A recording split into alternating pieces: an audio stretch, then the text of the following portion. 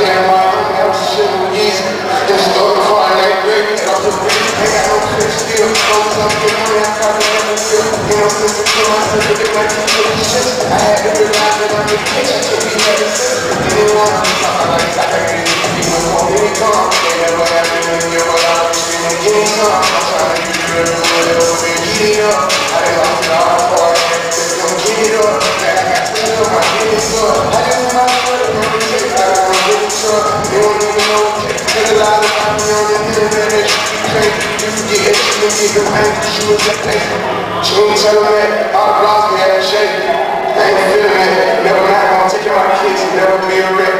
You know, Mr. Martin, you know, like, you can work it back. Who is that chick? I'm not